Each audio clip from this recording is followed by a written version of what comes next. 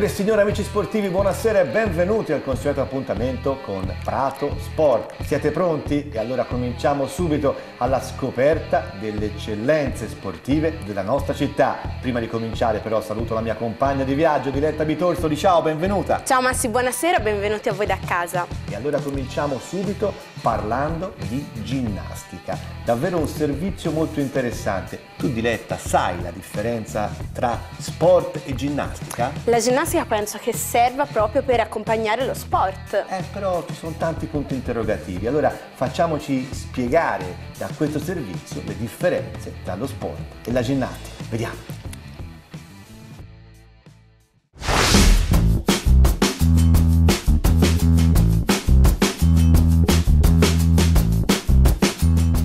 Essere o non essere, questo è il problema. Citazioni shakespeariane a parte, la domanda non appare retorica quando ci si interroga. Ma la ginnastica è uno sport? La risposta ha mille sfaccettature e viene affidata al dottor Marco Pecchioli, ortopedico, intervenuto al convegno organizzato presso lo studio Anna di Pistoia. Devo partire sottolineando la differenza fra sport e ginnastica c'è una grande differenza. Comunque le tecniche ID sono tecniche e non metodo per significare che sono una raccolta di esercizi adattati per ogni singolo problema. Il problema può essere la ginnastica di mantenimento, la ginnastica per anziani, la ginnastica per adulti, la presportiva oppure la ginnastica correttiva per eh, problematiche di tipo paramorfico o per i bambini come piede piatto, dorso curvo, scoliosi, atteggiamento scoliotico eccetera. E sono tecniche che hanno dimostrato la loro efficacia. La differenza a questo punto mi ha incuriosito tra ginnastica e appunto la sua sport. La differenza è fondamentale lo sport eh, si deve intendere, si intende ed è una gara fra atleti finalizzata al conseguimento di un premio mediante la vittoria. Questo è lo sport. Cioè lo sport non è l'anziano che va a passeggio nel, nel bosco e qui bisogna stare attenti a non far confusione. La ginnastica invece è la scienza che studia l'esercizio fisico, non il movimento, l'esercizio fisico e che ha per fine il conseguimento e il mantenimento della buona salute. E questo è, una, è un abisso fra ginnastica e sport. Questa distinzione è fondamentale per non attribuire allo sport quelli che sono invece i benefici della ginnastica. Nello, di ginnastica non è mai morto nessuno. Insomma, la ginnastica, correttamente eseguita, può essere veramente un coadiuvante per migliorare il proprio benessere e mantenersi in forma fisica e mentale anche in età avanzata. Sì, in realtà ecco, sono due attività motorie diciamo sì, che hanno fondamentalmente obiettivi differenti. Lo sport ha come obiettivo vero, reale, la vittoria e tutto il resto può essere identificato con dei valori aggiunti, però passa in secondo piano. Per esempio due squadre di calcio la domenica si affrontano e il loro obiettivo, il loro scopo è vincere. Nella ginnastica invece si ricerca il conseguimento e il mantenimento della buona salute, per cui non c'è assolutamente competizione se non una forma ludica, non ci sono i premi e l'aspetto proprio eh, prettamente agonistico e competitivo viene meno. Per cui se da un lato nello sport si può andare incontro anche a diversi infortuni come i professionisti a fine carriera che sono testimonianza, la ginnastica è per tutti e per tutta la vita, come diceva il professor Mario Gallo, per cui è quell'aspetto dell'attività motoria che è indispensabile per la vita di ognuno di noi. Ecco. Un paio di volte alla settimana, un paio d'ore di ginnastica possono bastare per una eh, corretta, un corretto svolgimento di quella che è l'attività? In realtà l'ideale sarebbe due o tre volte alla settimana, anche un'ora e 50 minuti in una ginnastica definita ginnastica di mantenimento, dove vengono passate in rassegna tutte le attività naturali dell'uomo, dagli equilibri alla, alla sospensione, alle arrampicate, per cui attività che l'uomo primitivo era costretto a fare in natura per appunto sopravvivere. Oggi fortunatamente si vive in una società dove la comodità la fa da sovrana, però siamo sempre fatti come eravamo allora, per cui il nostro corpo reclama una forma di movimento che, del tipo che, di cui ho parlato ora, ecco, attività motoria naturale e quindi ci si rifà le 10 famiglie di movimento delle, delle BERT, ecco, camminare, correre, saltare, fare a volte, nuotare, lottare per difendersi, un aspetto veramente completo. Eh? Insieme alla ginnastica diventa fondamentale per lo star bene la corretta nutrizione. Proprio sull'aspetto nutrizionale devono essere evidenziati alcuni passaggi da focalizzare. Allora, la nutrizione diventa fondamentale in tutti gli ambiti della nostra vita, non solo nella ginnastica e nello sport, perché dietro ciò che noi mangiamo ci sono sempre dei nutrienti, cioè delle piccole molecole che noi quando siamo seduti a tavola o quando mangiamo qualcosa non pensiamo che in realtà in quell'alimento rappresenta per noi una medicina o un veleno e tutti questi piccoli nutrienti Oggi sappiamo che possono andare addirittura a interagire con il nostro DNA, modificando o modulando l'espressione dei nostri geni. Quindi tanto più per chi ha problematiche sportive, eh, muscolari, andare a ricercare ehm, alcuni deficit o alcune caratterizzazioni genetiche ci può aiutare abbinando un'alimentazione mirata e adeguata a migliorare o a risolvere il problema. La cosa più eclatante è la possibilità che attraverso questo tipo di alimentazione che si chiama nutrigenetica abbiamo di andare a ridurre i picchi di infiammazione cronica. Cronica a livello generale, quindi l'infiammazione cronica è alla base di tutte le patologie croniche e di molti dei disturbi muscoloscheletrici. Insomma, tanti gli spunti di riflessione offerti dal convegno organizzato dallo studio Anna di Pistoia, che prosegue la propria crescita e più che altro la propria gamma di servizi offerti. Allora, la finalità è quella di divulgare il più possibile le tecniche di io sono anch'io insegnante di educazione fisica e bene o male sono più tanti anni che insegno, ho affrontato varie discipline, però sono ritornata indietro dal mio professore, il professor Marco Pecchioli, perché vedevo che le persone avevano sempre più bisogno veramente di guarire, cioè la ginnastica come norma igienica, come qualcosa che ti salvaguardia la salute e che te la mantiene. E allora essendo curiosa e scientifica ho detto vado all'Istituto Duchenne e ho avuto modo di testare che queste tecniche ID veramente fanno grandi risultati su tutte le tipologie di problemi, quindi dai bambini nella formativa, nei bambini nella ginnastica correttiva, negli anziani per la ginnastica di mantenimento e soprattutto per tutte le problematiche che ci sono ora inerenti al mal di schiena, all'artrosi dell'anca, della spalla, quindi non sempre si pensa anche a persone di una certa età, ma persone anche come noi giovani o che perlomeno anche sono stati anche sportivi, agonisti e che ora riportano tutte le ferite di questo, di questo usura a volte del troppo lavoro, come ci sono persone che invece non hanno mai fatto niente e che con la vita di tutti i giorni poi cominciano a somatizzare nelle varie posture sbagliate che hanno mantenuto e per questo hanno bisogno di fare una ginnastica mirata che gli dia veramente, infatti la cosa che spesso i miei cioè, allievi più grandi mi dicono dice, mi hai tolto 15 anni di vita, cioè nel senso no in male, in bene, cioè mi ha fatto regredire di 15 anni perché ritrovano quella mobilità, quella schemi motori, quegli esercizi che magari facevano quando erano più giovani. E allora ricominciamo da capo. La ginnastica è sport. Adesso possiamo togliere il punto interrogativo e affermare che non c'è sport senza una corretta applicazione della ginnastica.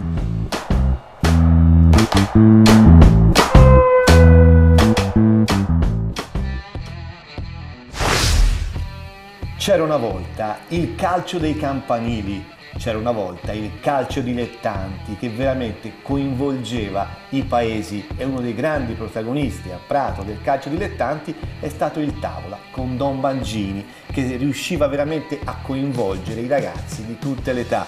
Diletta è il momento quindi di andare a ripercorrere le gesta di Don Mangini, ma il calcio dilettante è davvero cambiato?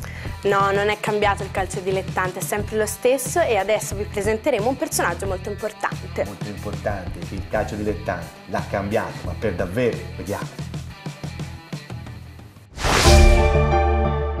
È stata una grande festa per ricordare la figura di Don Alberto Maggini, Oltre 150 persone si sono date appuntamento al campo sportivo Martelli di Tavola per la consegna da parte del CONI di una targa alla memoria del prete che amava il calcio, che ha segnato indelebilmente l'adolescenza di tanti ragazzi fuori e dentro il campo, tracciando un'epoca. Questo è uno dei pochi premi che il CONI eh, concede alla memoria. Alberto Maggini è sicuramente stato un grande personaggio che travalica un po' i confini anche di Tavola o di Capezzana, quindi io penso che stasera inizieremo un percorso per far sì che la memoria di Alberto venga eh, ricordata nel corso dei prossimi anni. Erano oltre dieci anni che non si consegnava una targa alla memoria, il CONI ha fatto un, una scelta e ha voluto premiare persona, un uomo di sport, un uomo di fede ovviamente, ma soprattutto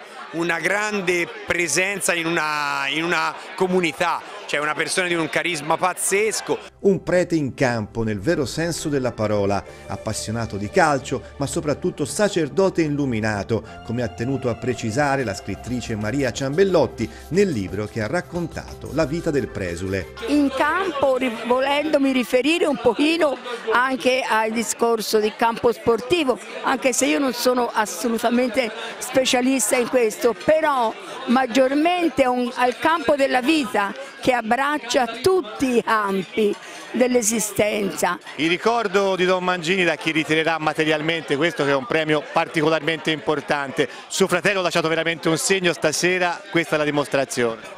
Sì, io sono molto contento di tutta questa affluenza di, della memoria di mio fratello e che dire di più.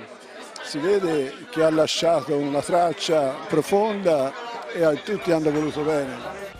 Tanti abbracci, tanti occhi lucidi nel ricordare i tempi che furono, nel narrare un calcio nostalgico fatto di campanile, nel vero senso della parola. Paolo Mangini, questo è il calcio dilettanti, aggregazione e voglia di stare insieme, questo è il messaggio che ci ha lasciato Don Alberto Maggini. Certamente, stasera nella riprova con tanti amici, tante persone, sono qui stasera per ricordare una persona speciale. Io lo dicevo prima a uno degli amici qui, ricordo Don Mangini con molto affetto perché ho fatto il mio primo convegno da presidente del settore giovanile scolastico proprio organizzato da Don Mangini a, Capezzana, a Capezzana ed era un convegno partecipatissimo dove lui dimostrò veramente la sua grande dote di essere un grande amante del calcio ma soprattutto un amante del calcio giovanile. Ecco. Sicuramente è una serata meravigliosa, non, non l'aspettavamo neanche noi, avevamo fatto tante cose per organizzarla, però devo dire che se è riuscita, sta riuscendo molto bene. Vero, una grande partecipazione di, di persone anche veramente importanti. Cosa vi ha lasciato? Ci ha lasciato dei buoni ricordi, ci ha lasciato una, una storia che lui l'ha fatta, l'ha seminata e noi stiamo ancora raccogliendo quello che lui ha fatto. Per me Alberto Maggini è stato quello che mi ha avvicinato, mi ha fatto iniziare a fare l'allenatore. Eh, dovevo venire a giocare nel Prato, mi feci male, ormai avevo fatto la domanda per insegnare a Prato, a insegnare da Gomari, lo conobbi e mi portò qui a tavola e iniziai a fare l'allenatore con lui. Che quando seppe che io ero un ex giocatore di calcio, io mi resi disponibile per allenare la squadra e lui mi disse, ben felice che era, mi disse te allena pure la squadra però ricordati che la formazione la faccio io. È stata l'ennesima vittoria del Tavola di Don Maggini, Misteri del Calcio e non solo.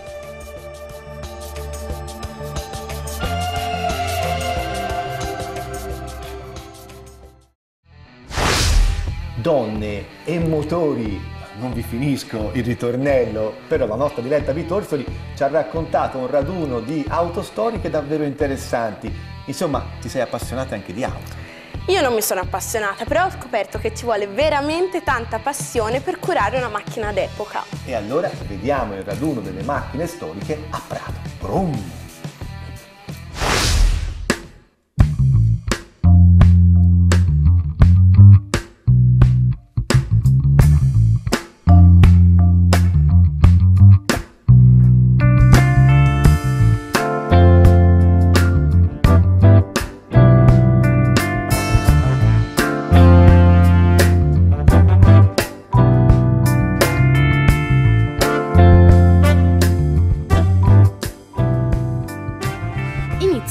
Stagione ed iniziano anche le passeggiate.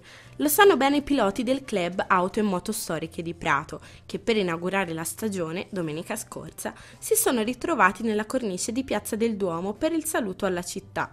Come dice una canzone, ci vuole passione per la macchina e per il motore. Nel 2000 è nata l'associazione, un gruppo di appassionati delle macchine d'epoca, ci siamo messi insieme e in un mese poco più abbiamo raccolto 100 soci. Adesso invece quanti numeri siamo? Ora siamo circa 280 soci. Che tipo di macchine avete? È un po' di tutte, generiche. Abbiamo dalla Fiat, la Lancia, qualche Ferrari, qualche Porsche. Abbiamo, io ho una macchina di 1925 che è una Ceirano, è nata un anno prima della Fiat, poi la Fiat è accoppiato, ha preso una Ceirano e ha fatto la Fiat. Questo basta Dio, però è una storia lunghissima. Come nasce la passione per le macchine d'epoca? Uno appassiona a motori, alle macchine, alle ruote e questo è, è, tutto. Che poi noi abbiamo anche le moto oltre le macchine, ecco. abbiamo anche tante moto. Oggi eh, c'è il primo ritrovo, com'è il programma per la stagione? Allora, tutti gli anni noi da mille, dai 2000 al 2001 circa facciamo l'apertura del club per la stagione agonistica e veniamo in piazza di Duomo. Tutti gli anni a Prato si chiama il saluto alla città di Prato. Lei che macchina ha? Ho una Rino Ferrari ed è 71. Ho un MGA del 56, Spider, per l'inglese, no? E ho la Prinze. Poi bastano, eh? C'ho anche la bicicletta però. Come nasce la passione per le macchine d'epoca? Nasce perché bisogna, fin da, una, da, dalla nascita per dire, oltre a piacere la macchina d'epoca, eh, bisogna, a uno piace anche il rumore de, de, de, del tubo di scappamento diciamo. Parliamo di manutenzione, come si custodisce una macchina d'epoca? La macchina d'epoca bisogna tenere, prima di tutto è coperto, perché non sono macchine a tenere fuori come le macchine da, un po di tempo, da tanto tempo in qua ci sono se tu vedi c'è tutte cromature, c'è tutte cose in fuori, si fa andarsi, poi non hanno le, le difese come fanno da tanto tempo in qua le macchine, perciò bisogna tenerle dentro, di tanto in tanto bisognerebbe portarle a fare una giratina loro, compreso noi, Oggi c'è stato il saluto del Club Automoto Storiche Prato alla città di Prato, appunto. Che ruolo ha il comune in questa manifestazione? Beh, noi patrociniamo l'iniziativa, la inseriamo all'interno del nostro calendario estivo eh, Prato Love Sport, è un'iniziativa ormai storica che si ripropone tutti gli anni che dà l'opportunità a tutti gli appassionati di macchine e di moto di venire e rendere omaggio alla città. Eh, quello che secondo me è importante è valorizzare il ruolo della macchina e, e per quello che ha rappresentato nella tradizione che poi è un po' la tradizione nostra, del nostro paese e anche della nostra città, quindi ci fa veramente piacere tutte le volte ospitarli in centro, nella piazza più importante di Prato.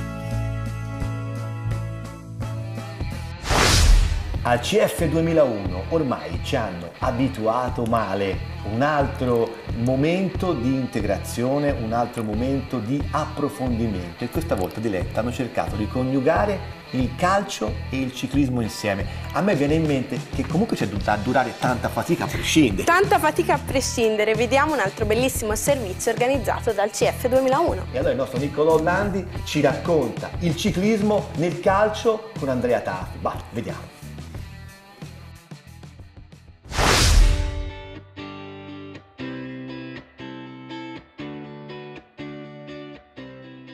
È andato in scena l'ultimo appuntamento di approfondimento sul mondo dello sport che la società calcistica pratese CF 2001 ha voluto regalare ai propri tesserati nell'arco degli ultimi mesi. Eh, lo sport è un elemento fondamentale di aggregazione ma anche di crescita, eh, di cultura per il nostro territorio e per i nostri ragazzi. Sostenere queste società eh, attraverso interventi appunto nella eh, manutenzione soprattutto degli impianti sportivi ma anche in serate come questa è per noi fondamentale e mh, prioritario. Alternando volti noti della storia dello sport, i giovani campioncini rossoblù hanno potuto conoscere esperienze di imprese sportive di realtà, confrontandosi con valori e sacrifici che accomunano tutte le discipline sportive. Ultimo appuntamento di una stagione di incontri qui a Casale che ha visto sfilare tantissimi rappresentanti sportivi eccellenti. Stasera Andrea Tafi per chiudere questo, questi appuntamenti.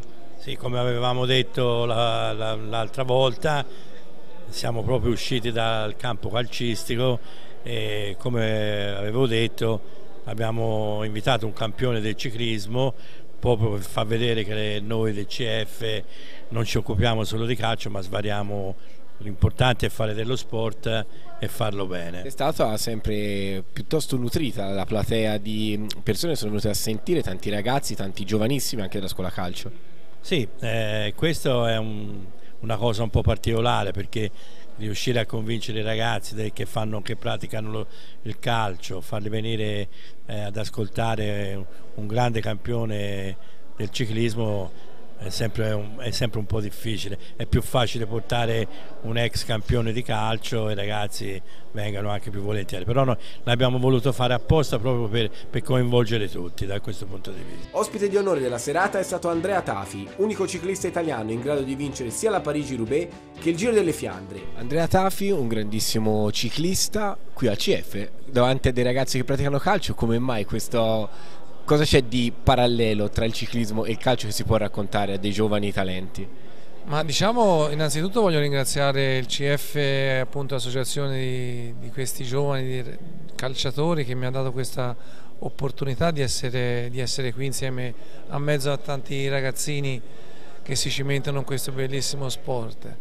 È una cosa un po' diversa, però è, è un'unione tra sport veramente bellissimi che in Italia e penso al mondo sono quelli più seguiti e quindi mi, mi fa veramente enorme piacere. Un'esperienza incredibile la sua, vincitore della Parigi-Roubaix, anche campione italiano, cosa può dare di consigli a questi ragazzi? Ma I consigli, eh, io parlo oramai, sono un ex da, oramai dal 76 che ho iniziato come loro a, a fare le prime colpe di pedale, quindi sono cambiate tantissime le generazioni e quindi su tutto di prendere lo sport nella maniera giusta, eh, nella maniera del divertimento, specialmente a questa età qui perché è giusto che sia così. Poi man mano che il tempo passa allora uno si può accorgere veramente se ha la stoffa per poter andare avanti, per continuare questo suo percorso. Tra i suoi successi anche il Giro della Lombardia e del Lazio, oltre alla convocazione nazionale. Magari è venuto a reclutare qualche giovane leva stasera? per, ma, ma, chissà mai, diciamo che è bello fargli sapere e trasmettergli quello che un, un altro sportivo che fa un altro, un altro tipo di sport eh, fa e come, come, si comporta. Quindi magari mi aspetta qualche bella domanda da, da parte di questi ragazzini e, e dopo magari chissà. Lo spumante è già in fresco, penso che sia in frigorifero, ma stanno cominciando a guardarlo i ragazzi della Sive perché perché, no diciamo, no lo diciamo dai perché sicuramente è importante anche mantenere un pochino eh, così di suspense, però adesso la promozione è veramente a un passo per la Sibe. Diciamo che intanto domenica scorsa la Sibe ha vinto un'altra volta. Non siamo scaramantici, lo spumante in fresco, siamo il punto del nostro Niccolò Landi e ci fermiamo qua, se no alla Sibe ci guardano male, però è una Sibe vincente. Eh.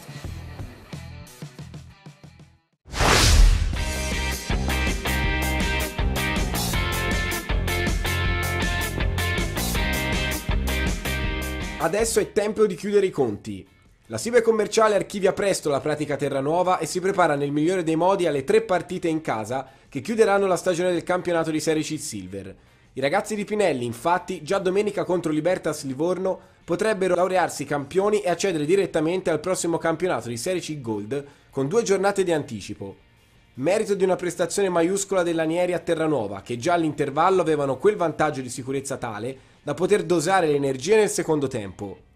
85 a 71 il risultato finale, con 18 punti della coppia danesi Fontani, 17 di Pinna, 15 di Tahiti e 13 di Smecca. Ancora ai box Milo Staino che proverà a recuperare per la prossima sfida, in tempo per provare ad essere ancora protagonista nel match decisivo. Appuntamento imperdibile per tutti gli appassionati, fissato per le ore 18 al Pala Toscanini, chiamato ad essere un vero fattore per spingere i Dragons a questo successo.